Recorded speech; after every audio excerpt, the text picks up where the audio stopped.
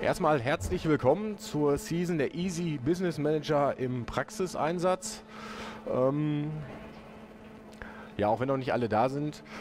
Es gibt einfach so viel zu zeigen und die Zeit ist leider so knapp, ähm, dass ich einfach schon mal anfange. Ich denke, die anderen werden dann auch gleich kommen. Zu Anfang hat sich bei der Konzeption des Vortrags auch gleich ein Problem ergeben. Es hat sich gezeigt, dass man den Praxisansatz nicht versteht, wenn man den EBM nicht kennt. Ähm, wer hat schon mit dem Easy Business Manager gearbeitet? Okay, das sind ungefähr genau null. Sowas in der Art dachte ich mir. Ähm, ich werde jetzt anfangen und einen kurzen Überblick über den Easy Business Manager, über die Funktionen geben. Und dann müssen wir einfach mal schauen, wie weit wir kommen.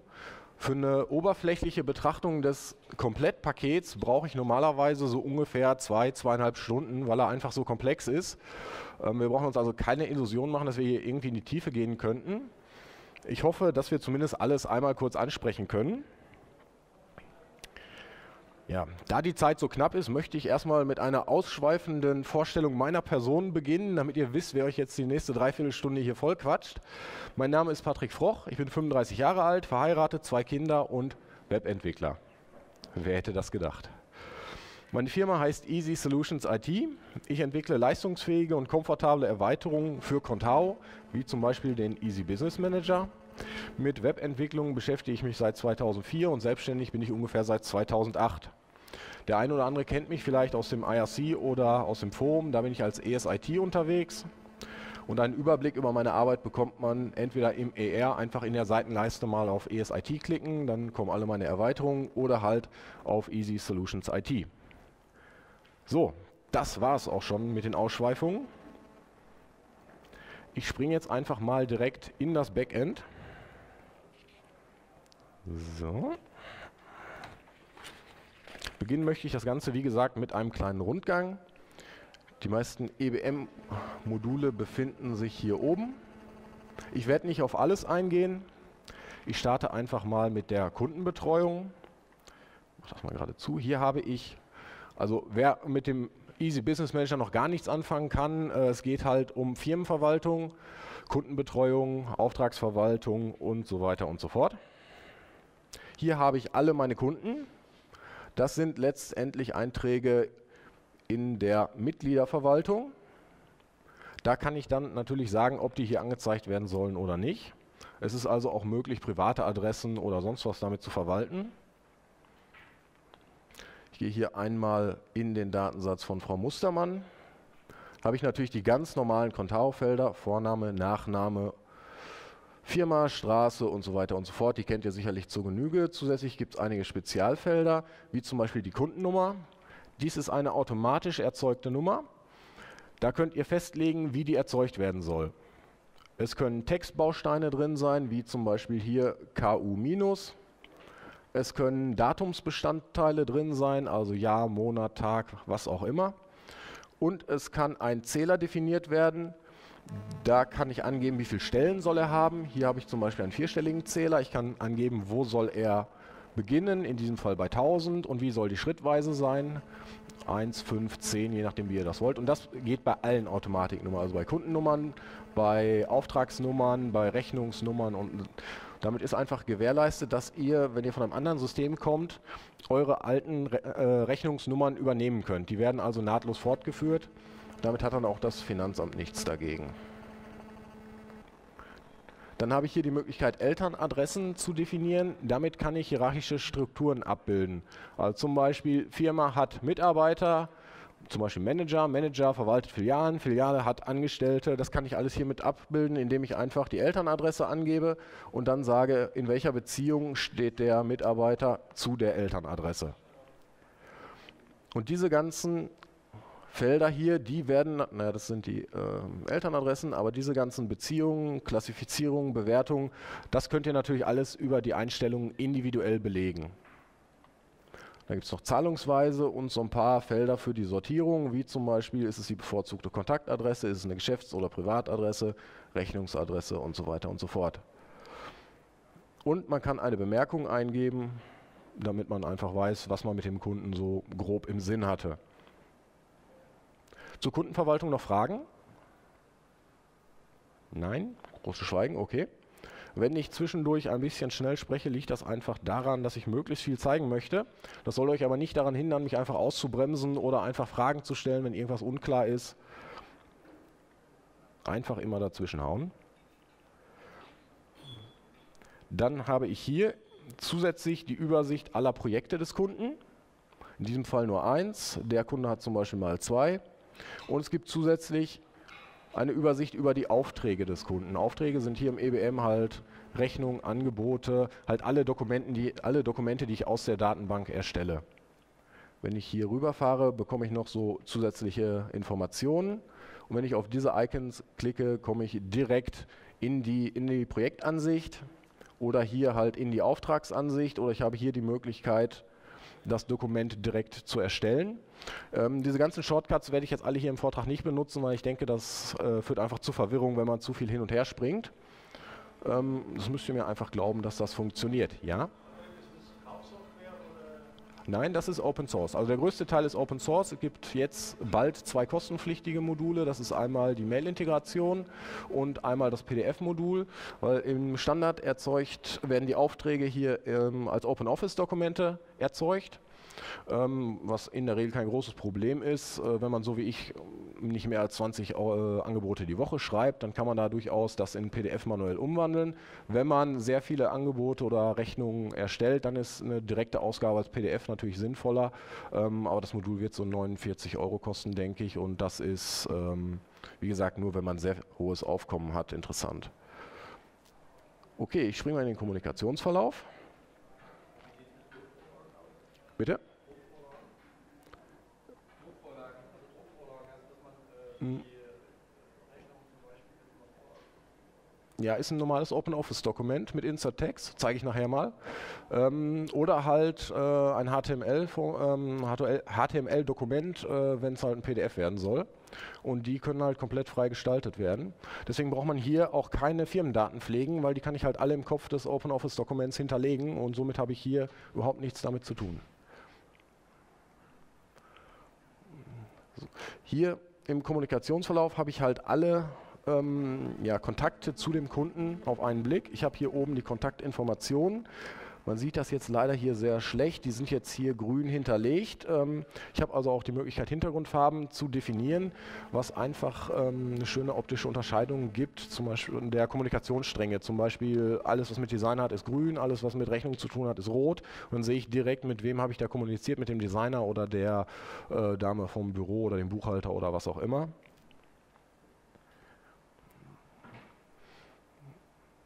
Ich habe hier die Möglichkeit, einmal die Adresse des Kunden auszuwählen. Also ich bin ja schon in einem Kunden drin. Trotzdem kann der Kunde natürlich mehrere Adressen haben. Das ist wieder dieses über die Elternadresse. Und äh, diese Adressen kann ich hier auswählen. Da kann ich dann also direkt sagen, okay, ich habe mit dem Manager in der Hauptstelle ähm, kommuniziert oder ich habe mit dem Filialleiter kommuniziert. Das sehe ich dann direkt hier. Ich kann sagen, was für eine Art von Kontakt ist es, also Mail, Telefon, Brief. Auch das natürlich wieder individuell belegbar ähm, habe ich ihn erreicht oder habe ich ihn nicht erreicht und in welche Richtung, also ging das von mir aus oder ging es vom Kunden aus. Datum, Uhrzeit, das wird natürlich automatisch eingetragen, ist aber änderbar. Ich habe eine Überschrift und eine Bemerkung. Zusätzlich habe ich die Möglichkeit, hier Anlagen hinzuzufügen, zum Beispiel PDF oder Text oder auch beides. Und ich kann mir eine Wiedervorlage legen. Da kann ich sagen, eine Priorität festlegen. Ich kann sagen, was will ich machen. Zum Beispiel, habe mit dem Kunden telefoniert und dann kann ich hier sagen, Briefkontakt, ähm, Angebot. Oder Angebot hinschicken. So, auf Mail gehe ich jetzt nicht ein. Das ist die Zusatzerweiterung. Da gehe ich vielleicht später noch drauf ein. So, und dann sehe ich direkt, ich habe hier eine neue Folgeaktion. Wenn ich hier draufklicke, wird automatisch eine neue Aktion angelegt. Es wird alles, was ich unten eingetragen habe, also in diesem Fall nur Angebot hinschicken, wird automatisch in, den, in die Überschrift und in die Bemerkungen des, der aktuellen Aktion eingetragen. Und ich habe die Möglichkeit, wieder Folgeaktionen zu legen, also eine neue Wiedervorlage aufzumachen, wenn ich das möchte.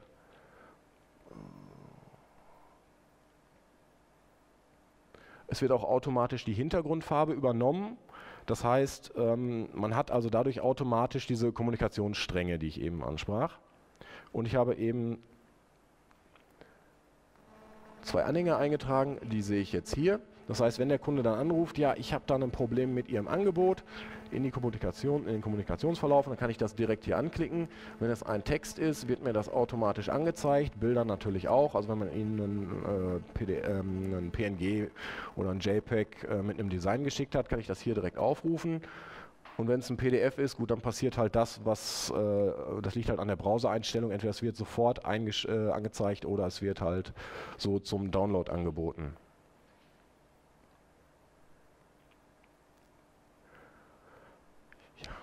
Zum Kommunikationsverlauf noch Fragen, Wünsche, Anregungen, Kritik? Okay.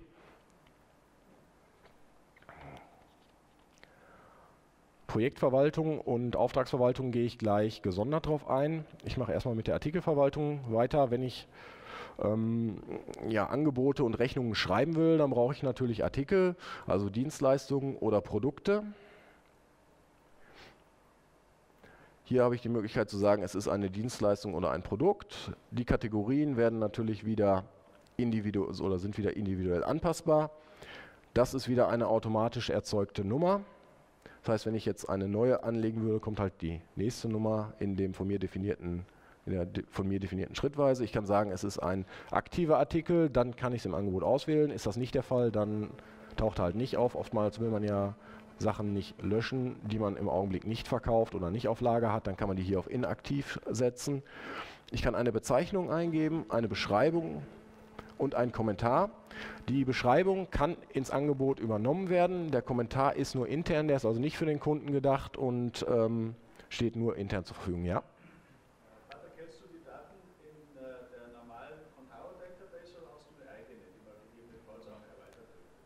Ähm, das ist die Contao-Datenbank, aber eigene Tabellen natürlich. Hm? Ja, ja, natürlich. Es ist alles komplett Contao, setzt auch komplett zu 100% aufs Framework auf, ist also eine komplett reine Contao-Lösung. Dann habe ich hier noch die Standardmenge und die Einheit.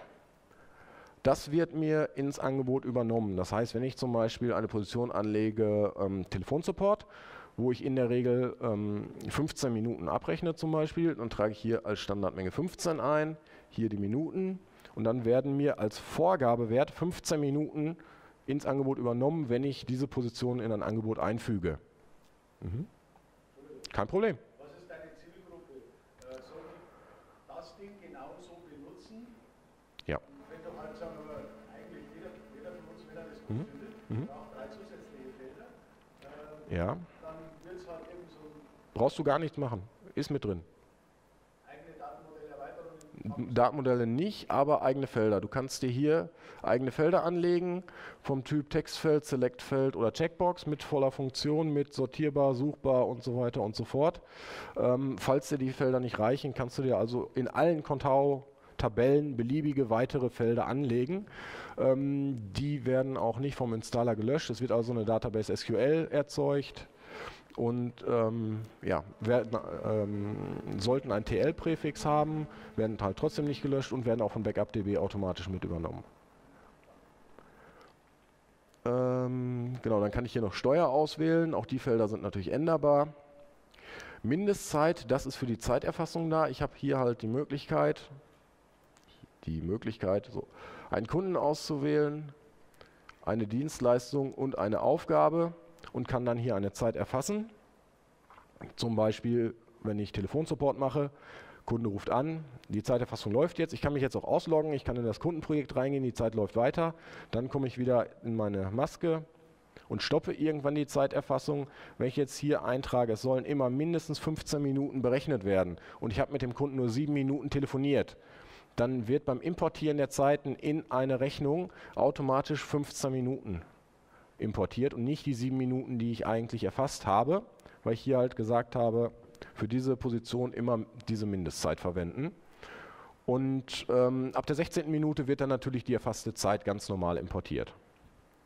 Dann ist noch so eine Art kleinen, also hier habe ich dann Lieferanten, ähm, bei denen ja, Kontakten, sag ich mal, bei den Kunden, bei den Personen kann ich ja einen Status auswählen, Kunde, Lead, Privat und auch Lieferant. Wenn Lieferant ausgewählt ist, dann erscheinen die in dieser Select-Box und ich kann hier halt meine Lieferanten auswählen. Ich kann die Lieferantenbestellnummer angeben. Wenn ich also nachbestelle, weiß ich direkt, welche Nummer ich angeben muss. Und hier Einkaufspreis ist eigentlich nur ein Hinweisfeld. Wenn also der Einkaufspreis wesentlich höher ist als der Standardverkaufspreis, dann äh, sollte ich die Kalkulation überdenken. Zusätzlich gibt es noch eine kleine Lagerverwaltung. Da kann ich einen Lagerort hinterlegen. Die verfügbare Menge, wenn ich eine Rechnung schreibe und aus dem Lager auf die Rechnung buche, wird dieses Feld hier, also dieser Bestand reduziert komme ich unter die minimal angegebene Menge. Also angenommen, ich habe jetzt hier 23. Minimalmenge, die ich immer vorrätig haben möchte, wäre 20. Und ich will dann auf na, 30 so bestellen, dass ich mindestens 30 habe. Wenn ich jetzt noch drei Produkte dieses, dieser Position, dieses Typs verkaufen würde, würde ich eine Nachricht bekommen, dass ich mindestens 10 nachbestellen muss, damit ich wieder auf 30 bin. Das ist einfach so ein kleine, kleines Gimmick. Zu den Produkten noch Fragen? Ja?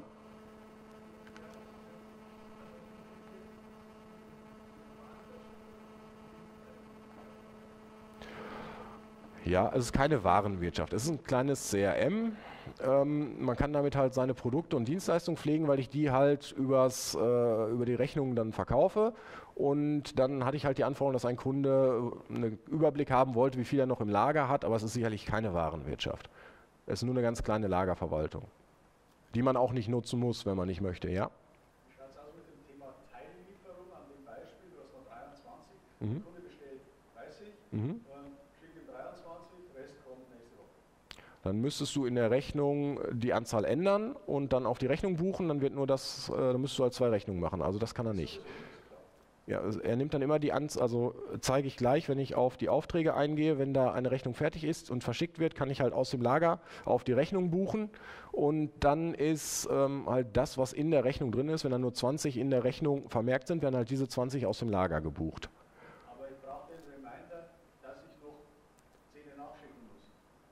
Ähm, nein. Äh, Wiedervorlage legen. Ja. Aber da müsstest du dir dann äh, bei der Kundenbetreuung eine Wiedervorlage legen. Ähm, die Benachrichtigung kann ich jetzt auch leider aufgrund der äh, geringen Auflösung nicht zeigen. Da sind hier unten dann so Bubbles, gehen da auf, ähm, wo mir dann die aktuell anstehenden Dinge immer angezeigt werden. Leider würden die hier alles überlagern bei der geringen Auflösung. Ja, jetzt komme ich auch zu den eigenen Feldern was ich gerade schon mal kurz angesprochen habe. Da habe ich einmal die Möglichkeit, eine Bezeichnung einzugeben. Ich nenne es jetzt einfach mal Test, weil ich so schrecklich unkreativ bin. Ist nur ein oh, Test. So, Bezeichnung ist einfach das, was hier oben steht. Beschreibung ist das, was hier drunter steht, was dann in diesem Hint aufgeht. Ich kann sagen, in welche Tabelle will ich es einfügen. Was soll es für ein Feld sein? Ich sage jetzt einfach mal Select Box. Dann kann ich Optionen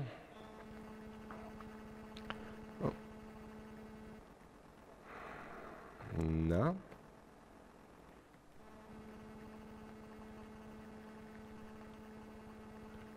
Und ich kann sagen, so, welcher Vorgabewert soll es sein. Dies, äh, der Vorgabewert greift natürlich nur bei neuen Datensätzen. Wenn ich jetzt Daten in den Datensatz gehe, um den zu bearbeiten, wird der Vorgabewert natürlich nicht angezeigt. Das ist ja bei Contao so allgemein üblich.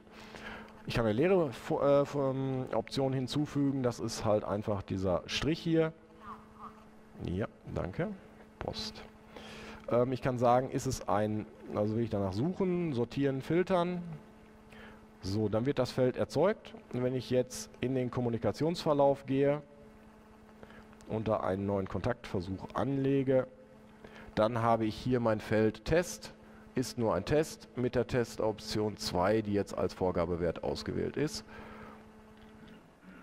Da kann ich halt beliebige andere Daten ablegen. Wenn die Felder des ähm, Easy Business Managers nicht reichen, kann ich da halt beliebig viele eigene Felder machen und damit meine Organisation übernehmen und muss mich halt nicht dem EBM anpassen. Und hier oben habe ich dann auch das Testfeld, wo ich dann zum Beispiel filtern kann. Ich habe es hier in der Suche mit drin. Und Sortierung hatte ich, glaube ich, auch angeklickt. Genau, da ist der Test dann. Damit ist der EBM halt quasi beliebig erweiterbar. Ja. Mhm.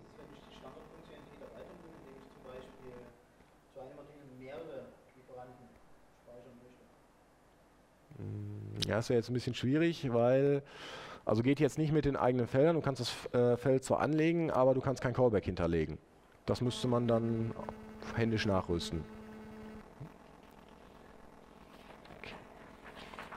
Ja, dann ich sagte ja schon öfter, es können hier Felder beliebig ähm, belegt werden. Es gibt hier insgesamt knapp 100 Einstellungen. Hier habe ich zum Beispiel so eine Select-Box, da kann ich halt beliebig die Schlüssel und die Werte eingeben. Das ist halt das, was mir angezeigt wird. Das ist das, was gespeichert wird. Und damit kann ich halt meine eigenen Begriffe da in den EBM reinbringen. Und natürlich noch jede Menge weitere Einstellungen. So, okay, ich glaube, wir liegen gar nicht so schlecht in der Zeit. Es gibt noch ein paar Tools, die ich jetzt hier nur kurz zeigen will. Man kann Adressen von einem äh, Google-Konto importieren, man kann äh, für die E-Mail-Erweiterung Standardtexte verwalten. Die werden dann, kann ich dann in eine Mail einfügen und dann dort bearbeiten. Ähm, ich kann CSV-Import machen, ich kann VCard-Import machen, ich kann die Einstellungen zurücksetzen. Wenn also mal gar nichts mehr funktioniert, weil ich in den Einstellungen rumgefummelt habe, kann ich die hier einfach zurücksetzen. Und wenn der ähm, Demo-Builder installiert ist, habe ich auch die Möglichkeit, hier Daten, Demo-Daten zu erstellen, wenn ich einfach mal ein bisschen rumklicken will. Das ist sicherlich auch sinnvoll, wenn man äh, sich die Online-Demo unter easybusinessmanager.de ansieht. Ähm, erstmal Demo-Daten erstellen, dann werden so 3200 Datensätze erzeugt und dann kann man da in aller Ruhe rumklicken. Okay, komme ich zum ersten Kernthema, ähm, die Projektverwaltung. Auch hier habe ich wieder diese Icons mit den zusätzlichen Informationen. Ich habe hier die Möglichkeit, Projekte direkt fertig zu melden. Und natürlich kann ich Projekte bearbeiten. Ich kann mir, hier den Kunden raussuchen, für den das Projekt ist. Ich kann sagen, welcher Mitarbeiter ist zuständig. Ich kann eine Bezeichnung eingeben. Ich habe wieder eine automatische Nummer, eine Beschreibung, Priorität, Status, Deadline, Kategorie. Das sind halt die normalen Dinge, die man bei einer Projektverwaltung halt braucht. Zusätzlich auch wieder die Möglichkeit, eigene Felder einzufügen. Ich kann sagen, es ist ein Projekt, was berechnet wird oder eben nicht. Projekt abschließen kann ich auch hier und ich kann pro Nutzer Rechte vergeben, was hier jetzt ziemlich sinnfrei ist, weil ich nur einen angelegt habe. Aber hier könnte ich wirklich sagen, nur bestimmte Benutzer des Backends dürfen dieses Projekt sehen. Oder natürlich auch Benutzergruppen, aber die habe ich hier, glaube ich, genau, die habe ich gar nicht angelegt.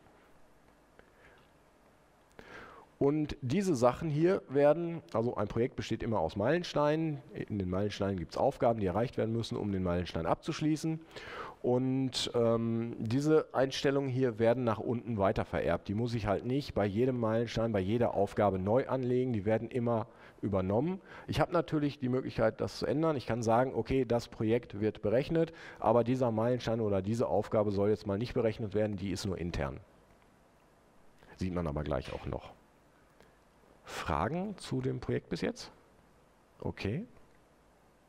Habe ich schon irgendwen abgehängt oder irgendjemand völlig überfordert? Okay, ich denke, so schwer ist es auch nicht. Es gibt ein paar Sachen, die man wissen muss und die kommen jetzt und der Rest ist, glaube ich, auch relativ intuitiv. Es ist halt ein Kontao. Auch hier, das ist eigentlich so ähm, die zentrale Ansicht, weil ich mir gedacht habe, in der Regel arbeitet man an einem Projekt. Gut, dann arbeitet man später auch mal an einem anderen Projekt, aber selten, dass man so zwei Dinge gleichzeitig macht. Hier habe ich einmal den Meilenstein, wieder mit zusätzlichen Informationen. Ich habe hier oben das Projekt und ich habe die Aufgaben eines Meilensteins. Die kann ich auch zuklappen, wie das in Konta auch üblich ist. Ich kriege auch hier wieder zusätzliche Informationen. Ich kann mir äh, diese Aufgabe direkt hier fertig melden. Ich kann sie hervorheben. Wenn ich einfach hier draufklicke, dann wird es blau dargestellt. Die roten ähm, sind fällig, da wird es also Zeit, dass sie erledigt werden. Die blauen sind halt hervorgehoben. Und dann gibt es zusätzlich noch eine Abstufung in den äh, ja, in der Farbe der ähm, anderen der normalen Aufgaben. Von hellgrau ist unwichtig bis dunkelgrau bzw. schwarz ist ganz wichtig. Auch da sieht man direkt optisch die Priorität einer Aufgabe. Ich kann hier direkt in die Bearbeitung der Aufgaben springen, wo ich im Prinzip dasselbe habe wie beim Projekt. Ich gehe jetzt erstmal kurz in einen Meilenstein rein Hier habe ich nicht ganz so viel wie beim Projekt. Ich brauche halt keinen Kunden mehr auswählen, weil der im Projekt definiert ist. Ich kann aber auch hier wieder sagen, wer ist zuständig. Also es kann ja sein, dass der Projektmanager ist für das Projekt zuständig, aber für diesen Meilenstein, zum Beispiel Design, äh, wäre jetzt halt der Designer zuständig. All solche Sachen kann ich hier abbilden. Ich habe die Möglichkeit, Bezeichnung, Beschreibung einzugeben. Das sind wieder die Sachen, die vom Projekt vererbt werden. Eben das Projekt war Priorität 5, der Meilenstein hat aber jetzt Priorität 8, der ist also wichtiger. Ähm ich kann auch hier wieder sagen, soll berechnet werden und ich kann hier die ähm, Rechte einschränken. Das heißt, ich kann sagen, das Projekt soll jetzt Benutzer XY sehen, den Meilenstein aber ein ganz anderer, so dass zum Beispiel der Manager äh, das Projekt sehen kann, aber der Designer kann jetzt halt den Meilenstein sehen. So. Ja, die Aufgaben sehen eigentlich fast identisch aus. Auch hier kann ich wieder sagen, wer ist zuständig. Bezeichnung, Beschreibung, Priorität, Status. Hier gibt es zusätzlich noch einen Tracker, also Feature, Bug, Support. Auch das ist wieder individuell zu belegen. Und pro Aufgabe kann ich dann Zeiten erfassen. Ich springe jetzt mal in die ähm, Übersicht der Aufgaben. Da sehe ich einmal hier diese Sanduhr. Ohne Pfeil wurden noch keine Zeiten erfasst, mit dem Pfeil wurden Zeiten erfasst. Das ist zum Beispiel die Testzeit, die ich eben kurz erfasst habe. Da sieht man auch, das ist keine Minute. Bei den Zeiten habe ich die Möglichkeit, neben Bezeichnung und Beschreibung, zu sagen, welcher Mitarbeiter hat diese Zeit benötigt, was hat er getan. Die Zeit soll berechnet werden wenn die Zeit dann in ein Angebot importiert wurde, wird dieser Haken gesetzt, damit sie nicht erneut nochmal importiert wird. Da ist es also auch egal, wie lange eine Zeit zurückliegt. Ich muss auch nicht sagen, importiere mir die Zeiten des letzten Monats, sondern es werden in der Regel alle Zeiten importiert, die noch nicht verrechnet wurden. Ich kann sagen Startdatum, Startzeit, Enddatum, Endzeit und ich kann sagen, nee, ich will lieber eine Zeit, wenn ich also keine Zeiterfassung, keine richtige Zeiterfassung mache, sondern nur eine rückwirkende Zeitverteilung, dann kann ich hier einfach die Summe eingeben. Die Summe überschreibt dabei immer die oberen Zeiten. Noch Fragen zu, zur Projektverwaltung, zur Zeiterfassung? Okay. Ja. Nein. Nein. Der, mit dem habe ich hier eben die Zeit erfasst. Ich wähle einfach den Kunden aus, die Aufgabe, auf die ich die Zeit erfassen will. Ich kann eine Dienstleistung auswählen, zum Beispiel Beratung. Ich kann auch eingeben, halt irgendeine Bezeichnung eingeben, wenn ich will, muss ich aber auch nicht und dann sage ich Zeit erfassen. Und dann läuft hier die Zeiterfassung.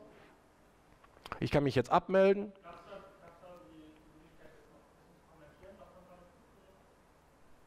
Ja. Ich kann hier eine Bezeichnung eingeben. Und dann, gut, wenn ich es genauer haben will, dann muss ich halt reinspringen und dann habe ich halt diese Maske hier und dann kann ich hier zusätzlich noch eine Beschreibung eingeben. Das geht aber nicht über die Maske, weil die Maske halt viel Schnellerfassung da ist. So, Kunde ruft an, ja, Moment, Zeiterfassung starten und dann läuft halt die Zeiterfassung und dann greift wieder die Mindestzeit, die mindest importiert werden soll, wenn es ins Angebot importiert werden soll. Und das sollte halt einfach schnell gehen. Ähm, ich, aber wie, ich kann das natürlich auch nachträglich bearbeiten, die erfassten Zeiten. Ja.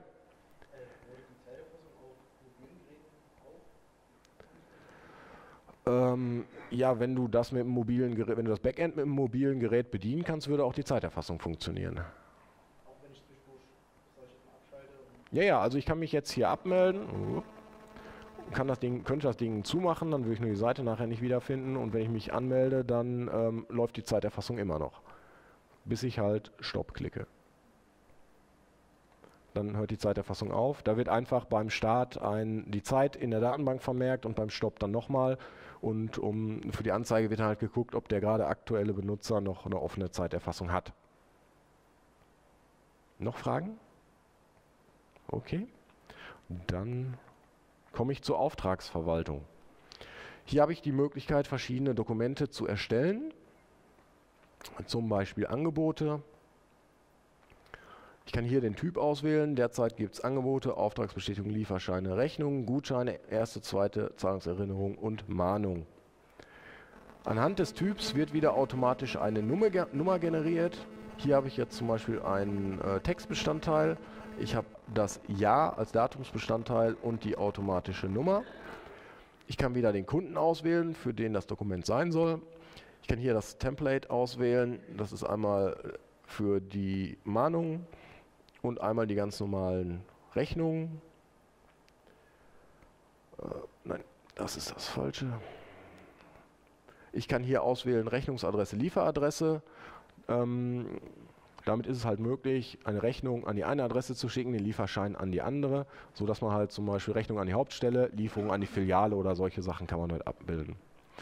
Ich kann hier Auftragspositionen kopieren. Ähm, wenn der Kunde schon ein offenes Angebot zum Beispiel hat, würde ich den Haken setzen, würde das Angebot hier auswählen. Wenn ich eine Rechnung erstelle, kann ich dann die Positionen kopieren. Die werden hier in das Angebot eingefügt und ich kann sie dann bearbeiten, weil oftmals kommt ja noch was dazu oder es gibt Zusatzaufwand oder ähnliches. Ist ja selten, dass ein Angebot eins zu eins übernommen wird. Das kann ich hiermit abbilden und ich kann hier sagen, Zeiten aus einem Projekt importieren. Dann werden alle offene Zeiten des gewählten Projekts hier in die Rechnung importiert. Dabei werden die pro Position aufsummiert. Ich habe also nicht 100 mal 5 Minuten Telefonsupport da drin, sondern ich habe eine Position Telefonsupport und da sind kumuliert alle Zeiten drin, die ich für den Kunden auf diese Position erfasst habe. Was ich natürlich noch ändern kann, ich kann das noch aufsplitten äh, nach Monat oder sonst was und dann halt eine Bemerkung hinterlegen. Dann kann ich das Auftragsdatum, das Ablaufdatum des Angebots oder der Rechnung, halt das Fälligkeitsdatum hinterlegen und ich kann das Leistungsdatum hinterlegen und das dann auch auf den Dokumenten ausgeben. Ich kann sagen, es ist ein Intervallauftrag, zum Beispiel bei Serviceverträgen oder Hostingrechnungen. Ähm, da kann ich dann das Intervall festlegen, zum Beispiel alle sechs Monate bekommt er eine Rechnung, dann wird mir das auch wieder, werde ich auch wieder benachrichtigt, wenn der Termin fällig ist. Dann reicht ein Klick, ich springe mal kurz zurück, auf dieses Icon hier habe ich jetzt gerade dieses den Haken gesetzt. Da ist die nächste Intervallrechnung fertig. Wenn ich da draufklicke, wird ein neuer Auftrag angelegt vom gleichen Typ mit den gleichen Positionen, aber dem aktuellen Datum. Und so kann ich dann halt immer die nächste Hosting-Rechnung automatisch generieren.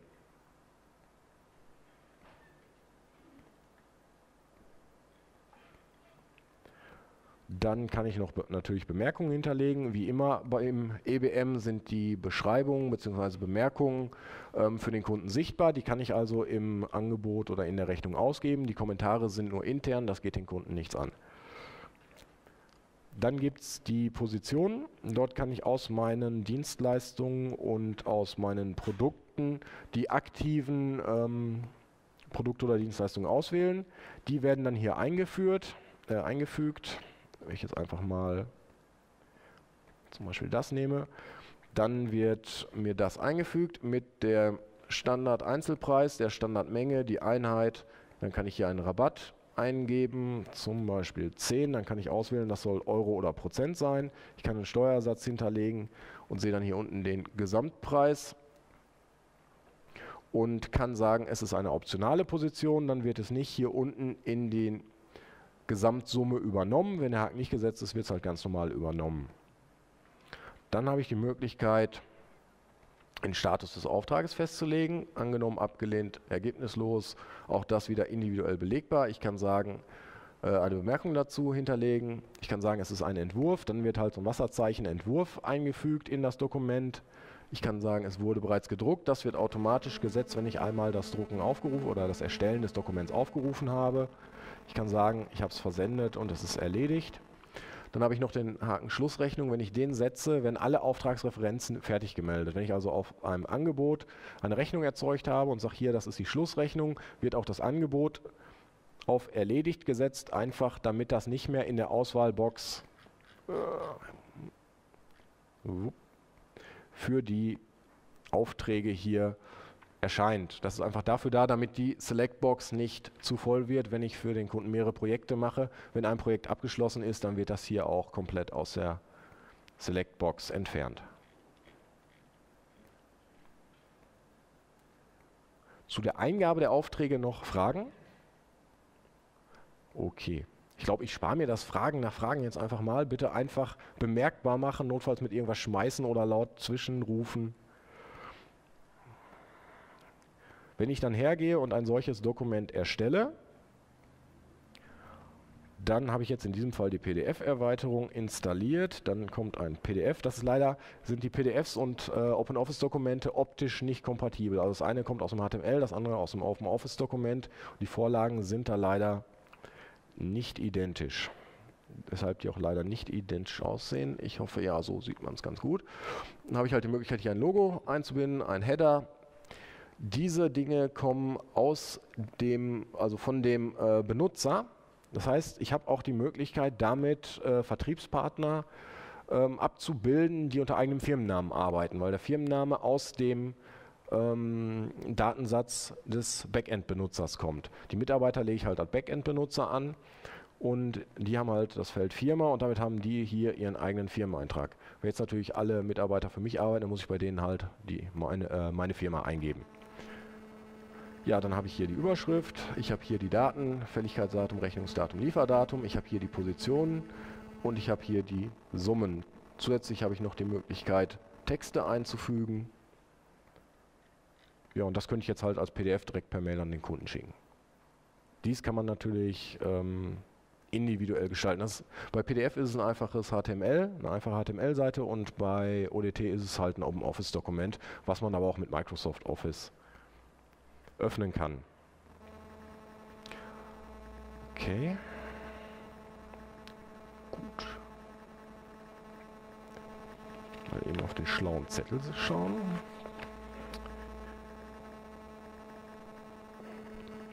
So, dann stelle ich jetzt einmal um, um auf die Vorlagen einzugehen.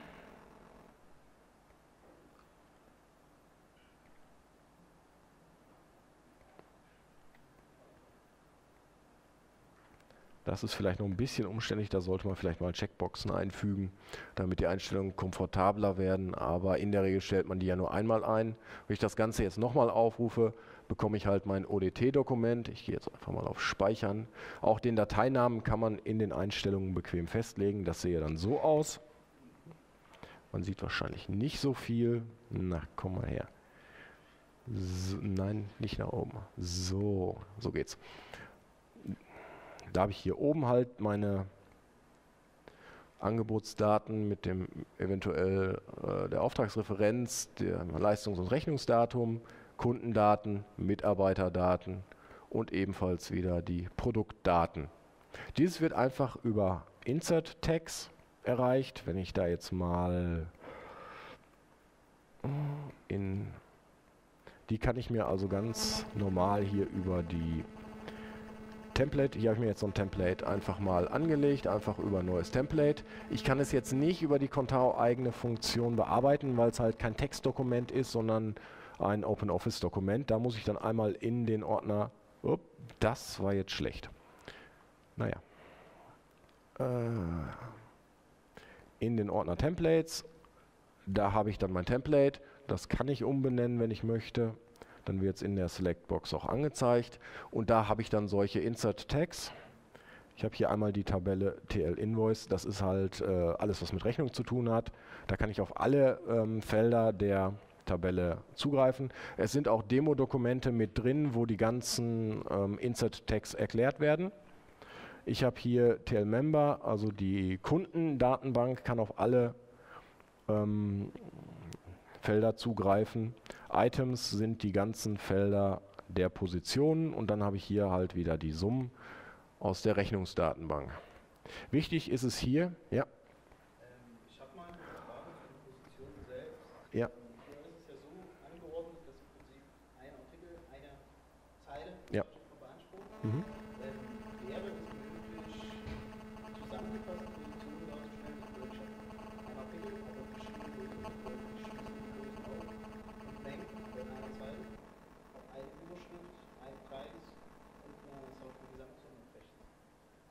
Nein.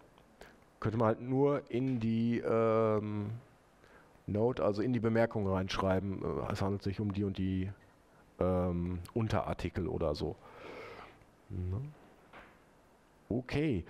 Ähm, hier ist es wichtig, das OpenOffice ist leider so eine Art schlechter HTML-Editor, wie das früher war.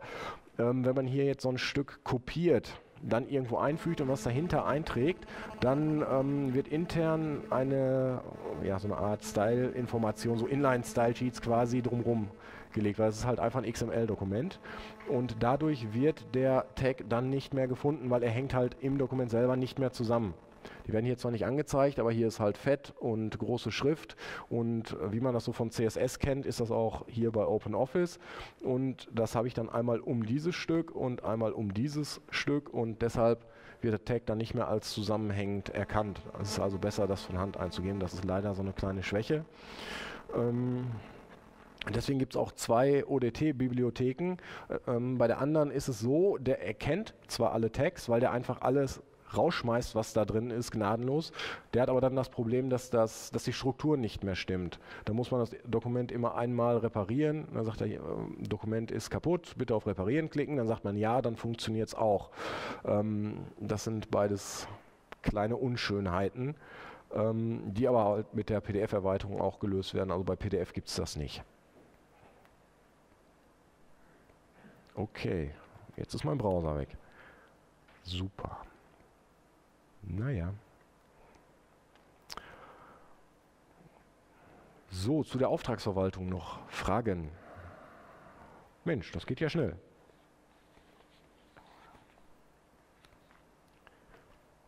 Okay. Ja, dann komme ich schon einmal zu, also PDF hatten wir eigentlich schon, komme ich einmal zu der neuen Mail-Erweiterung. Hier habe ich die Möglichkeit, ähm, Postfächer einzugeben. So, ich springe da mal kurz rein. Ich kann hier Server auswählen, Protokoll, ähm, Verschlüsselung, Benutzername, sollen die Anhänge gespeichert werden? Wenn ja, wo? Soll eine Verzeichnisstruktur erstellt werden? Dann wird immer ähm, Jahr, Monat, Tag erstellt und darin wird dann der Anhang gespeichert. Ähm, und ich habe die Möglichkeit, in diesem Mail-Postfach verschiedene Ordner direkt anzusprechen. Das heißt, ich habe zum Beispiel hier einen Ordner Testmail. Es werden also nicht alle Mails, die reinkommen, abgerufen, sondern nur die, die ich in den Ordner Testmail verschiebe. Dann habe ich mein Mailprogramm und alles, was zum Beispiel, wenn ich einen Kundenordner mache, alles, was mit Kunde zu tun hat, schmeiße ich da rein. Dann rufe ich das hier auf und sage Mails abrufen und dann werden alle Mails hier abgerufen. Kann ich jetzt hier nicht machen, weil ich kein Netz habe. Ähm, diese werden anhand der Absenderadresse automatisch einem Kunden zugeordnet. Das Ganze kann ich dann hier bearbeiten. Wenn mir das nicht gefällt, kann ich sagen, das soll jetzt nicht Frau Mustermann sein, sondern das soll jetzt jemand anders sein. Okay, hier habe ich keinen anderen als Frau Mustermann. Diese Zuordnung, diese manuelle Zuordnung, die wird gespeichert und später automatisch wieder angewendet. Dann wird eins gemacht, diese werden automatisch dem Kommunikationsverlauf des Kunden zugeschrieben. Zum Beispiel habe ich hier jetzt die Mail mit der Anfrage. Die wurde jetzt automatisch hier in den Kommunikationsverlauf eingefügt. Damit kann ich automatisch Mails importieren, brauche halt nicht mehr per Copy and Paste hier irgendwelche äh, Kommunikationsversuche anzulegen. Und ich habe hier die Anhänge, die mit der Mail gekommen sind und kann die auch hier wieder bequem öffnen, so wie das vom Browser halt vorgegeben wird.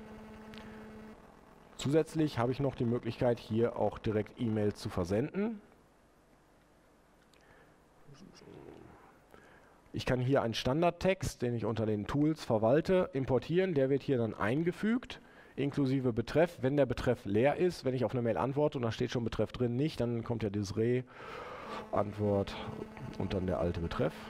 Dann habe ich hier den eingefügten Text, den kann ich natürlich jetzt auch noch bearbeiten. Ich kann Anhänge aus dem Dateisystem hinzufügen, zum Beispiel ein äh, PDF-Dokument mit ähm, AGBs. Die erstelle ich ja nicht für jeden Kunden individuell, sondern habe ich in der Regel fertig vorliegen. Das kann ich hier anklicken und ich kann sagen, wenn ich die Mail verschicke, dann erstelle mir bitte diesen Auftrag. Der wird dann in dem Augenblick, wo ich die Mail äh, verschicke, nicht wo ich sie jetzt abspeichere, wird er erstellt. Das heißt, ich habe jetzt auch noch die Möglichkeit, wieder in den Auftrag zu gehen, irgendwas zu ändern, weil der Kunde anruft oder was auch immer. Und wenn ich dann die Mail verschicke, wird der aktuelle, Auf äh, der aktuelle Stand des Auftrags ähm, exportiert. Dafür ist die PDF-Erweiterung allerdings erforderlich. Wird hier im Dateisystem eingetragen, also hinterlegt und als Anhang hier eingetragen, sodass ich den dann auch wieder hier bei den Anhängen dabei habe. Und dann habe ich hier dieses Icon. Wenn ich dann da draufklicke, wird die E-Mail automatisch an den Kunden geschickt. So habe ich halt eine komplette, also einen kompletten automatisierten Kommunikationsverlauf mit dem Kunden, zumindest was E-Mail angeht. Wenn er anruft, dann muss ich natürlich manuell eintragen. Faxe gehen auch nicht. Noch irgendwelche Fragen? Okay. Ja.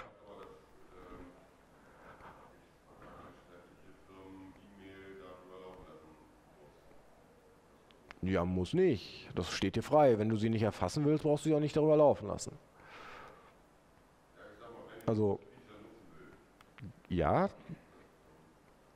ja, jein, du musst natürlich nicht äh, die E-Mails hierüber schreiben. Du kannst auch über dein E-Mail-Programm schreiben und dann ähm, zusätzlich noch ein weiteres Postfach anlegen, weil ich rufe ja nicht nur diese äh, E-Mail-Adresse ab, sondern einen Ordner dieser E-Mail-Adresse. Du kannst natürlich auch den Ausgangsordner abrufen.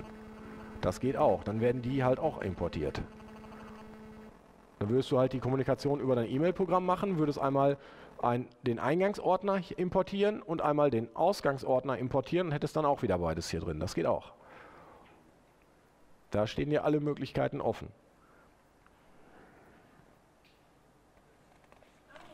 Ja, hallo. ja. Mhm.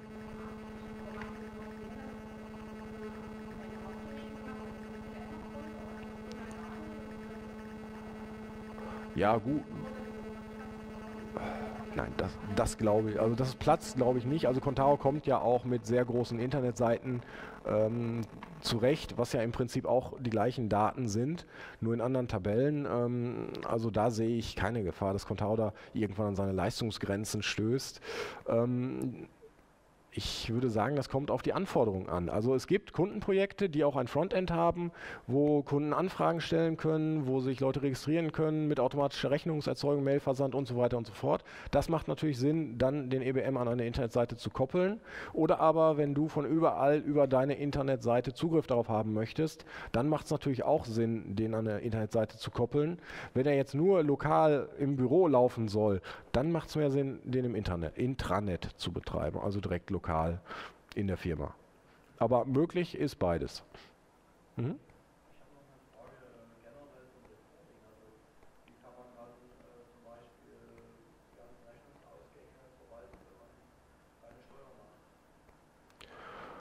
Ähm,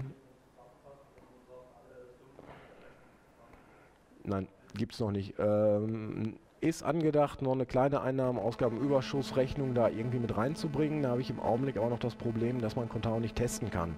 Also wenn ich sowas machen würde, würde ich es eigentlich lieber nur dann machen, wenn man es auch per Unit-Test wirklich die Funktion sicherstellen kann, weil es halt auch um Geld geht. Ähm, ich meine, jetzt einen einfachen äh, Report der Rechnungen zu erzeugen, ist relativ simpel. Man braucht ja nur die Datenbank auslesen, ist Typ Rechnung, dann aufsummieren, fertig. Ähm, also Position einzeln ausgeben, Summe drunter, das wäre äh, relativ äh, fix möglich. Es ist noch nicht mit drin, nein, genau. Ja? Mhm. Nein, der wird gespeichert. Also. Genau. Genau. Ja. Also ich mache das immer so, ich habe einen Eingang, habe dann einen Ordner Kunden, da schmeiße ich erstmal alles rein, dann importiere ich das in den EBM und dann wird der Kundenordner wieder gelöscht. Und dann habe ich den Server sauber, habe da immer den Überblick über das Aktuelle und wenn der Kunde dann in einem halben Jahr anruft, wir hatten noch mal was besprochen, dann gehe ich halt in den EBM, suche mir den Kunden raus und sehe dann direkt, äh, was ich mit ihm da kommuniziert habe.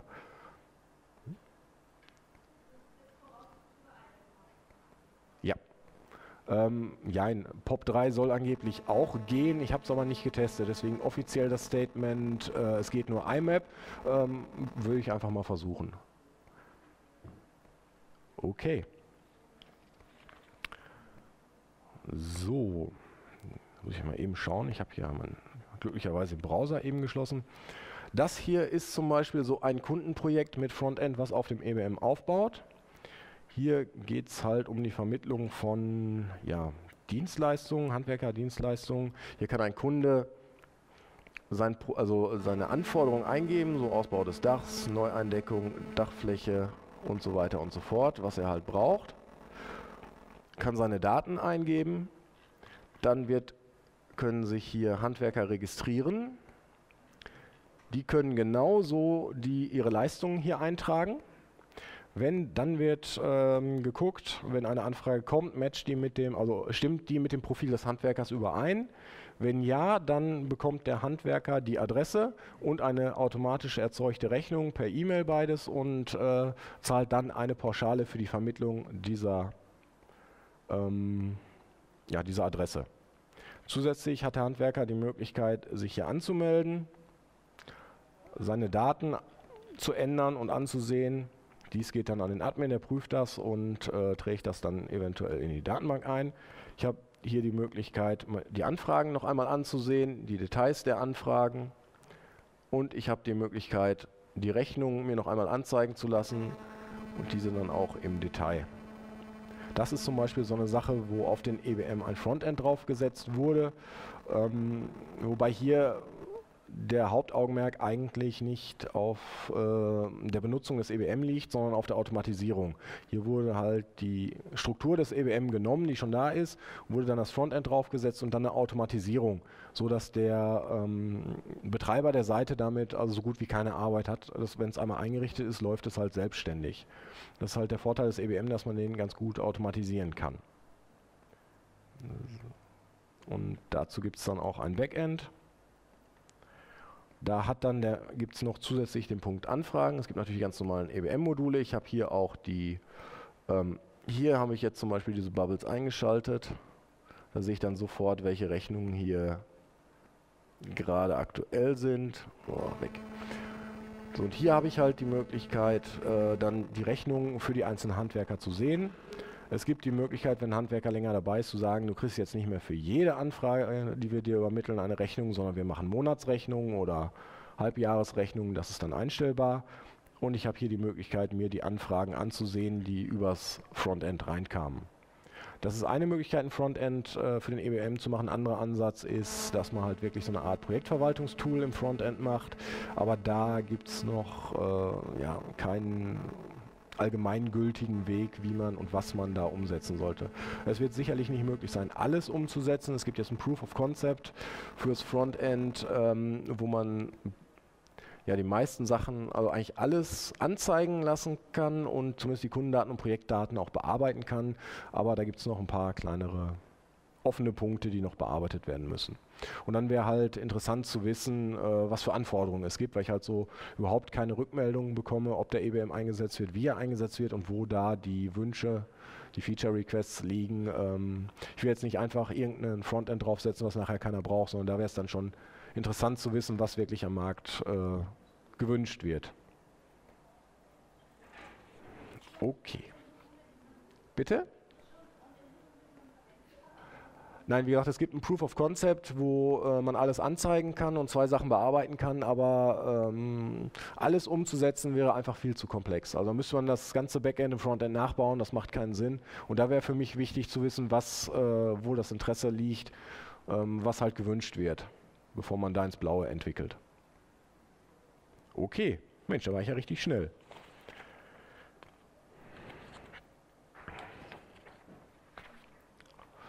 Ja, dann liege ich also drei Minuten vor der Zeit. Wer hätte das gedacht? Hätte ich ja nicht mit gerechnet. Gibt es noch Fragen? Ja. Ja. Äh, wenn dann 3.1 ja, würde ich gerne machen. Ähm, also das ist ja jetzt letztendlich ein Projekt, das habe ich angefangen, weil ich das brauchte. Das habe ich in meiner Freizeit gemacht. Das ist also ähm, kein bezahltes Kundenprojekt oder so. Ähm, da habe ich jetzt ungefähr boah, 220, 250 Stunden investiert. Ähm, jetzt muss man sagen, ist auch irgendwo ein Limit erreicht, wo ich sagen muss, okay, Kundenprojekte gehen jetzt einfach vor und ähm, ich habe das mal grob überschlagen. Ich glaube nicht, dass ich es in zwei Wochen Vollzeit schaffen würde, den auf Contao 3 zu heben. Und da ist einfach ähm, ja, eine Grenze erreicht, wo man sagen muss, da muss man ein tragfähiges Finanzierungskonzept für haben.